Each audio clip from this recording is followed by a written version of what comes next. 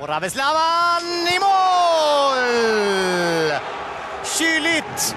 Raveslavan, en av inhopparna, punkterade här när klockan tickar upp på 90.